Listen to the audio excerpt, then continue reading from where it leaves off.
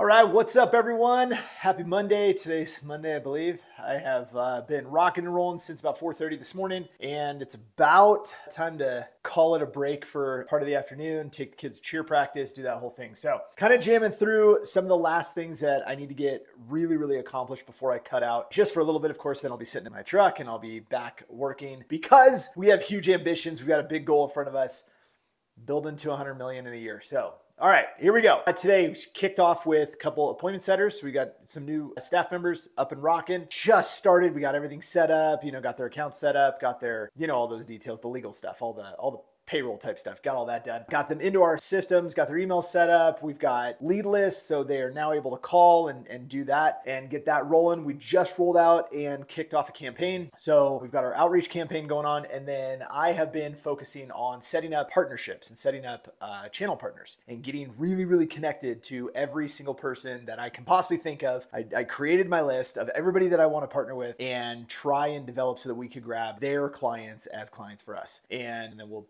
kind of do some sort of a profit share. So that's what I've been working on most of today. Wrote a whole bunch of content that I thought needed some improvements. We fixed that. Got a couple things fixed up on the website, stuff that just, you know, kind of got missed through the shuffle, optimized some pages. Uh, let's see what else we get done. And so we're kind of rocking. The big update that I wanted to share was that we got appointment setter up and going. So that is fantastic. We've still got some more in the pipeline that I need to interview. Need to get probably at least five more hired so that we can just really, really, really grow this out. And that's kind of another focus that I'll have tomorrow. I'm going to hit that hard again. Let's see what else. Oh, some legal stuff dealing with attorneys and making sure that our contracts are updated, dialed, and, and we're set with those things. We've got payment processing systems all dialed so that everything's under the right entity and, and all those pieces. And let's see, still rocking the cap, not doing any more swag yet, trying to evaluate. One of the things that we did do, this was actually kind of dumb. I started maneuvering pricing and I was trying to figure out how do we kind of really, really tap into a higher end of the market and not really deal with kind of low end people who are trying to get in on a, on a tight budget. I had a guy reach out uh, specifically actually talking about pricing and I actually just turned him away because it was, you know, if, if the difference between, you know, what he was looking at versus what we were going to offer and there's like a $200 difference or a $300 difference it's like i don't want to have that conversation. We want to get to where people are very very confident in their budget and they can they have the uh, affordability to spend. So that's going to partly go with target market. This person found us organically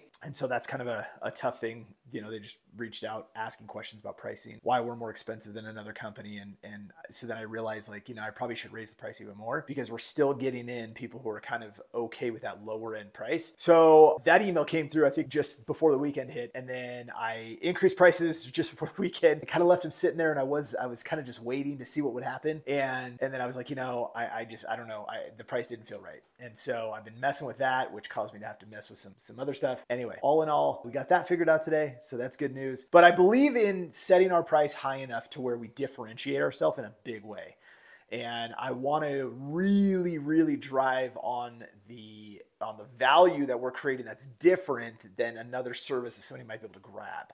And you know, like there's other people running similar products. However, ours just happens to have some components that other people aren't layering into it. So we have a far higher, in my opinion, quality in what we're doing. It's just different. It's probably for a higher price point. So with that, that's fine. I want people who are looking for, you know, kind of cheap to go one way and then for us to go another. Just like in the virtual assistant world in my other company, we are higher priced than a lot of companies. And but we also end up getting a, a lot longer tenure, right? We get people who stay for five years, 10 years. Well, what are we at? Nine nine years. So that's what I would have like to have more of is less kind of lower end, more higher end clients. So, oh, the other thing we did this morning, which was fantastic, was I met with my CMO, contract CMO, who is working with us and she's actually really supporting us with multiple companies, but just dialed into Visitor Match and is setting up all of our ad campaigns. And so we came up with some really, really cool ideas on what we're going to be doing with just some of our storytelling and, and how we're going to you know kind of put this whole thing together. Really exciting stuff. We actually came up with some really kind of tricky ideas for uh, funnels and what we might do inside some of our pages there. So anyway really cool stuff lots going on but as you can see i mean it is just a grind. It is an everyday thing. Push push push get as much done as possible as fast as possible and I'll be able to take a break for about 2 hours and then I'll be sitting outside the gym when my daughters are at cheer practice and I'll be on my computer in my truck using the truck Wi-Fi and trying to grind out just the last bits of the day and then I'll come home and kind of call it quits. But so that's that. That's kind of the life right now. It's not that exciting. I don't have anything to show you yet. Hopefully within the next like 2 days I'll actually have some stuff to show you and that'll be exciting. So, anyway, there's a quick update. Thank you very much. I'll see you guys soon.